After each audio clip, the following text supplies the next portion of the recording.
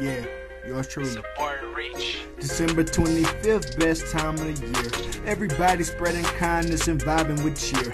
Most people celebrating, it's a holiday. We had to work all week, but not today. Hot chocolate in my cup and I'm sipping it slow. I got nowhere to go and I'm hoping it snows. When the fam gets here, we gon' fill them with joy. Open the gifts and watch the kids play with the toys. Now when the night is almost done, get that Christmas ham, the mac and cheese, collard greens, and the candy yam. As I think about the day and all the joy that it brings, I'm reminded of what it all means.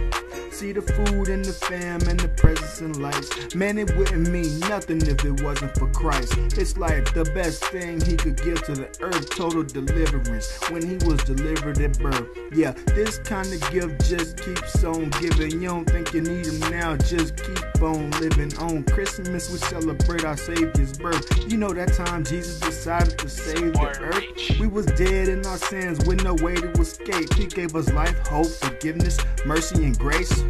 Thanks be to God for his unspeakable gift, the real reason that we celebrate December 25th. Didn't have to do it, wants nothing in return. It's a gift, so that means it's not something you can earn. When passing out your presents as you usually do, remember the greatest gift already given to you. Merry Christmas.